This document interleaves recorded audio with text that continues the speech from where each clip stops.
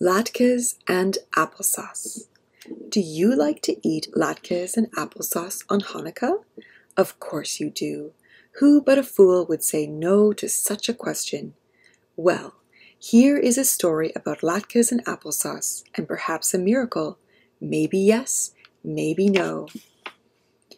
It happened long ago in a village far away where there lived a little family named Menashe. Papa and Mama Menashe were tailors who had two children, Rebecca and Ezra. Rebecca and Ezra were wonderful children who helped their Mama and Papa. Every year when it came time to celebrate Hanukkah, they dug up potatoes to make the latkes and they picked the apples for applesauce.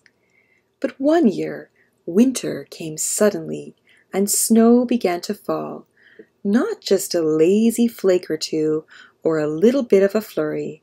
No, this was a tremendous blizzard, as if all heaven's feather beds had burst. And when did this furious blizzard begin? Of course, on the first night of Hanukkah. Come, sunset is upon us, Papa called to his family. It's time to light the candles and celebrate the Hanukkah miracle. So Papa sang the blessings, and Mamma lit the shammes, and Rebecca lit the first candle. Ah, they sighed together at the beautiful light. Then Papa set the Hanukkah menorah in the window so all could see its glory. Now, declared Papa, for the next eight days we shall celebrate the miracle of Hanukkah with feasting and gladness. Bring on the latkes and applesauce. Papa, said Mamma, the blizzard has swallowed our feast. All of the potatoes are buried in the snow. And as for apples, this year we had so few. No latkes, gasped Papa, and his bright eyes dimmed. Ah, well, then let us sip our soup. So, sitting as closely as birds in a nest, Mamma and Papa and Rebecca and Ezra sipped their soup together. Then they sang a joyful Hanukkah song with the wind whistling along through the walls. Shh, said Rebecca suddenly. I hear someone crying. Soon they all heard it, a mewing and crying, as if all the sad spirits in the world were set loose. Rebecca opened the door a crack, and in walked a wet orange kitten. Mew, mew, mew, the kitten cried. Rebecca quickly patted her dry with a rag. Papa, said Rebecca, the kitten must have seen our candles. Mamma filled a tiny dish with milk. After the kitten lapped it up, she purred, falling asleep in Rebecca's lap. Now, Rebecca, said Papa firmly, we must return this kitten to her mother. Rebecca shook her head. Papa, this kitten hasn't got a mother. No mother would let her kitten wander alone in a storm. Yes, agreed Ezra. That is why the kitten was crying. And since you said we mustn't be sad on Hanukkah, I think we should keep this kitten. Sad? A cat? Papa pulled at his beard. A cat is one of God's creatures, declared Mamma. Of course we will care for her. Rebecca leaped up and hugged her mother. Mamma, what shall we name her? A name should fit as well as a glove, said Papa. Take care to name her well. I will, Rebecca promised, but right now I want to play dreidel. The little kitten spun the dreidel so well she won two nuts and a raisin, and when the candles flickered out, everyone went to bed. On the second night of Hanukkah, the snow came down even harder. Again, Mamma lit the candles, and Papa placed the Hanukkah menorah in the window, and again the family sat down to their soup. I'm not complaining, Papa said to Mamma. I like soup as much as you, but I'd love to wrap my mouth around a latke. Miracles have happened before, answered Mamma. Remember, two thousand years ago. Shh, interrupted Papa. Did you hear that noise? It was a shrill bark right outside the door. Ezra leaped up and opened the door a crack, and in walked a skinny brown dog. This dog looks hungry as a bear, said Ezra.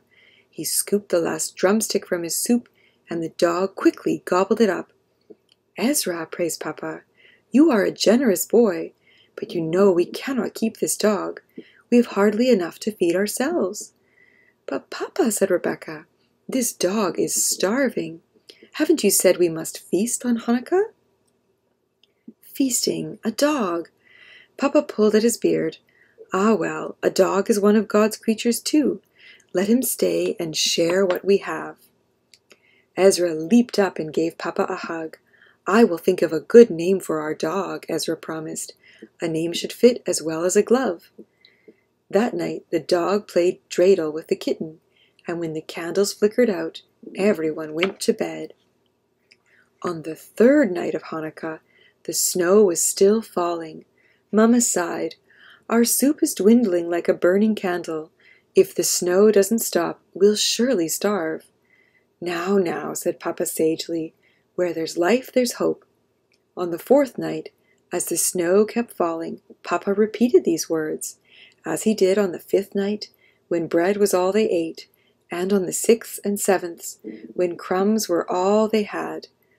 On the eighth night, after Mamma lit the last candle, Papa said, I see the sky is beginning to clear. Let us go out and gaze at the stars. Perhaps they can help us forget our empty stomachs. So everyone piled on their sweaters and pants and socks. The kitten and the dog already had their own coats, so they rushed out ahead. The dog leaped around in the moonlit snow. He leaped and ran and sniffed and dug. Papa, asked Ezra, why is our dog digging? It's in a dog's nature to dig, said Papa, stepping closer to admire the dog's work. All of a sudden, Papa gasped. Oh, what a world of wonders this is!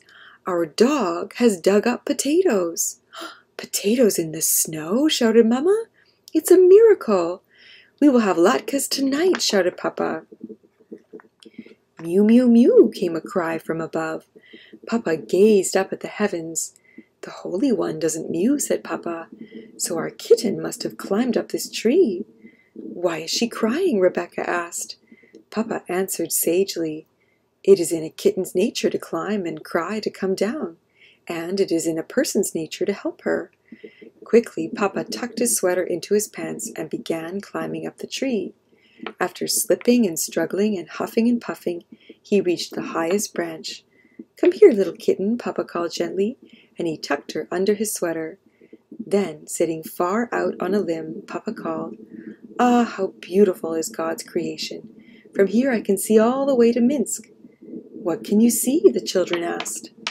Apples, my children. Your papa sees apples, red and round, hiding their glory under the snow. Apples, gasped Mamma. Apples still on the tree? A miracle is happening here. Apples are always a miracle, declared Papa, as he joyfully tossed them down. Quickly they all rushed back inside their warm house. Mamma and Papa peeled the apples and potatoes, and in the oil she had wisely saved just for Hanukkah, Mamma fried so many latkes they were heaped up high, a golden treasure. Before the family sat down to eat, they sang a joyful song as they gazed at the final Hanukkah candles.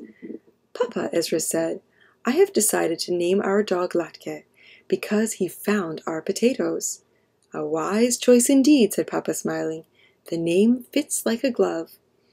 And our cat's name is Applesauce, said Rebecca, because she found the apples. A perfect name, said Mamma. Then Mamma and Papa and Rebecca and Ezra and Latke and Applesauce ate latkes and applesauce as much as their bellies could hold. Now, was this a miracle? Who can say? It happened and that is a miracle enough for anyone.